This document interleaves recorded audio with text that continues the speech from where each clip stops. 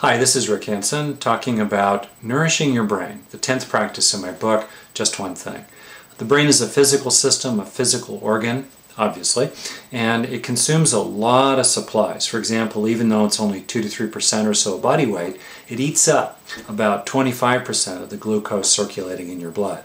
So if there are any significant shortages of the hundreds of key nutrients it needs, then that will affect your sense of mood, mental clarity, and other things as well. So how do you feed your head?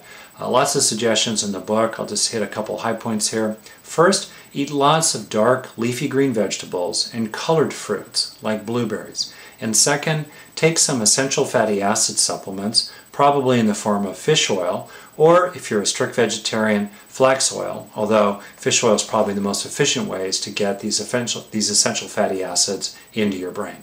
So, may you nourish your brain.